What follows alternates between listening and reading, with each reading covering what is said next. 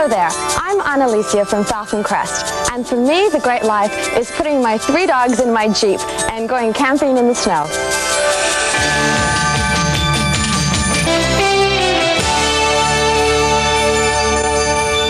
Some fascinating people for you to meet today. One of them is Ana Alicia from Falcon Crest. And you'll meet Vince and Mary Kikarillo. They're a fascinating couple who live in Houston, Texas, and I mean, a, they live a great life. We also have an exclusive tour of Palm Beach, Florida. We begin by taking you to Montego Bay, Jamaica. Bob and I were there recently to relax and christen a new luxury cruise ship named Regent Sea. Let's head for Jamaica. I realize that California isn't known for winter blizzards, but it was still nice to get into the tropic sun. And board a floating hotel like the Regent Sea. That's right. This is to be the ship's maiden voyage after a $15 million overhaul, and you could tell it had become a first-class floating hotel, the kind of home away from home you can really enjoy. And when we arrived, everyone was excited about the christening ceremony. And to tell the truth, so was I. It seemed a waste of champagne that made me Uh, nervous. shouldn't have. It's a time-honored custom, tradition of the sea. All the celebrating and festivities are part of the show. Well, I did enjoy the ceremonies leading up to the christening, but I kept worrying about scarring the paint when I threw the bottle. no wonder you missed the first two times. Aw. Come and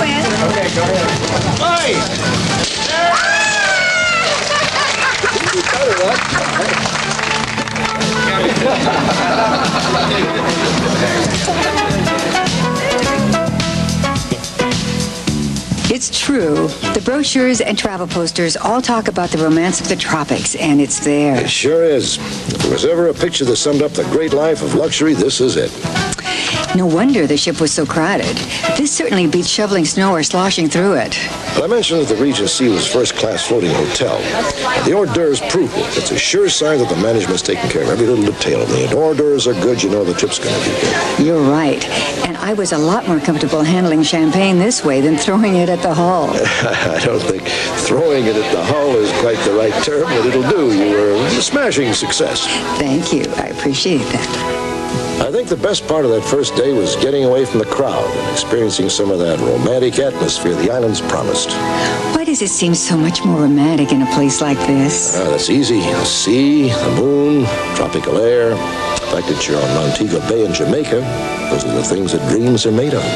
Now I understand why people indulge in a midwinter vacation. So do I. But tomorrow we get to continue ours. There's lots more to this island adventure.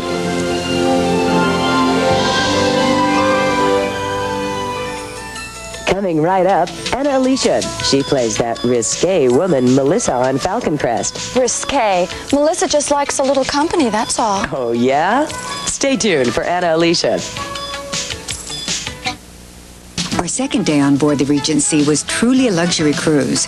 Once we left port from Montego Bay in lovely Jamaica, a leisurely pace was set, and that was just perfect for some sun by the pool. Ah, this is the great life. A beautiful day on board ship with a beautiful companion by my side. Well, thank you, Bob. You know, we should do this more often. The Caribbean is the perfect winter getaway.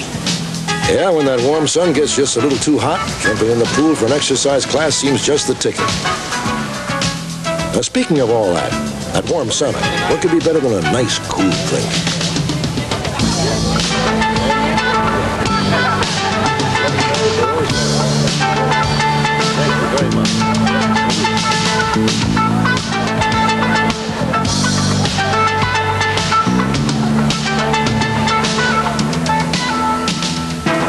Don't know about you, but I really enjoyed some of the local sights. You mean like the speedboats, local fishing, sailing?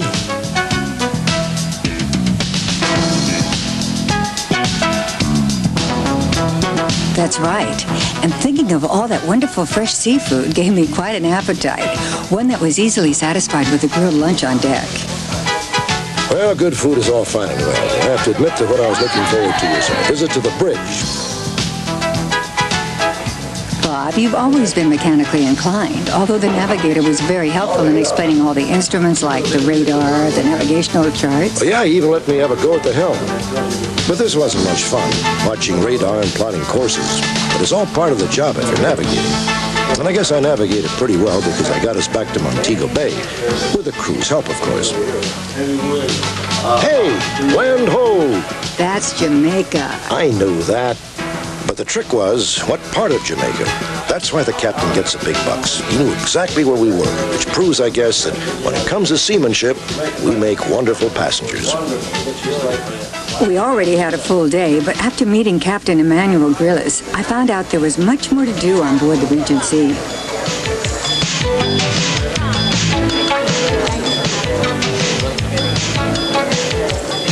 Did you know they have nine lounges, a movie theater, library, computer room, a gym, disco, and a casino? I'll drink to that. You know, it suddenly dawns on me that we spend a lot of time eating and toasting on these vacation trips. but I don't care. Neither do I. I enjoy it. And besides, we're supposed to be enjoying the great life, right? Naturally. It's a nasty job, but someone's got to do it. And we do it so well. Even when there's a violinist sawing away in your ear. It was lovely. I enjoyed it. But the truth is, you could hardly wait for the toast to be over so we could move on to the next entertainment item on our agenda. You know me, I love the casino. And you know me, I worry about your luck. So do I. That's why I decided to watch this time, and it was still fun.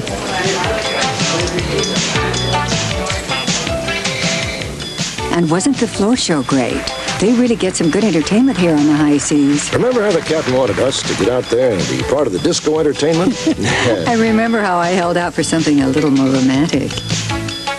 now, this is my idea of a great life vacation. Montego Bay, Jamaica, and you in my arms.